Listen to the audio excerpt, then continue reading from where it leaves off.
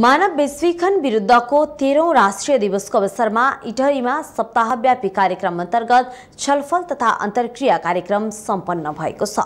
इटहरी उपमहानगरपालिकाको आयोजनामा सम्पन्न कार्यक्रममा स्थानीय निकायका जनप्रतिनिधि सरकारी तथा गैर सरकारी संस्थाका प्रतिनिधि सञ्चारकर्मी प्रहरी कानुन व्यवसायी लगायतको सहभागिता रहेको थियो।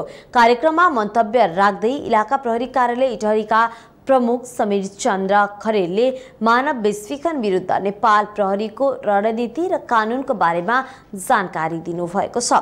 माइती नेपाल सुनसरीको कार्यक्रम संयोजक सुनिता कार्कीले प्रदेश नम्बर एकमा मात्र नभएर देशमा नै मानव वैश्वीकरणको अवस्था बढ्दो रहेको बताउनुभयो। उहाँले पछिल्लो समय मानव वैश्वीकरण शैली परिवर्तन गरेर भइरहेको बताउनु भएको छ। सुनसरी मोरङ झापा जिल्लामा लुकीछिपी मानव वैश्वीकरण भइरहेको उहाँले बताउनुभयो। विशेष गरी बालबालिका र किशोरीहरूको बढ्दो वैश्वीकरण न्यूनीकरण गर्दै लैजान सरकारले विभिन्न चेतनामूलक कार्यक्रम सञ्चालन गर्नुपर्ने इटहरी उपमहानगरपालिकाको सामाजिक विकास अधिकृत सुशीला कार्की बताउनुहुन्छ। सबलीकरणको माध्यमबाट मानव वैश्वीकरणलाई न्यूनीकरण गर्नुपर्ने उहाँको भनाइ छ। अवस्थाको बारेमा भन्नुपर्दाखेरि चाहिँ यो दिनोदिन बढ्दो छ होइन? यो हाम्रो देशमा मात्र नभएर विश्वमै एउटा के छ भन्दाखेरि बढिरहेको अवस्था छ होइन? के देखिन्छ भन्दाखेरि सबैजनाले पैसा कमाउने दौडमा होइन? यति धेरै यो फैला फस्टाउँदै गएको छ।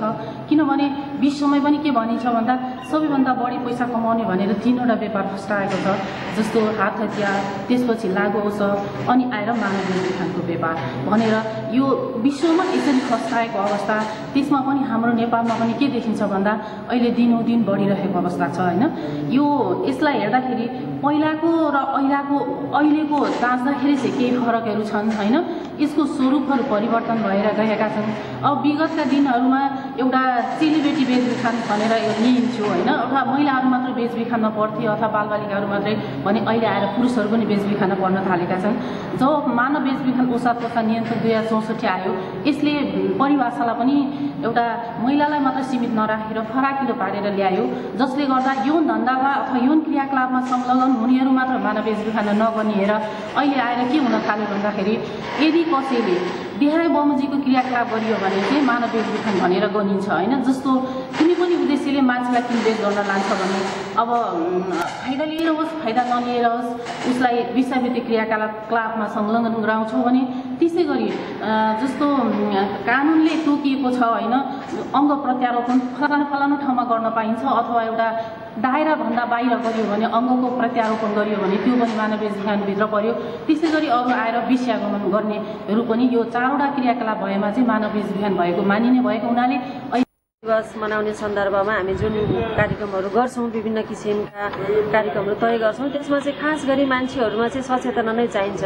एउटा पढे लेखेको मान्छे पनि सचेत नहुन सक्छ त्यो विषयमा। त्यसैले पढेको होस् या नपढेको उसले चाहिँ सचेत हुनु पर्यो जुन विषयमा।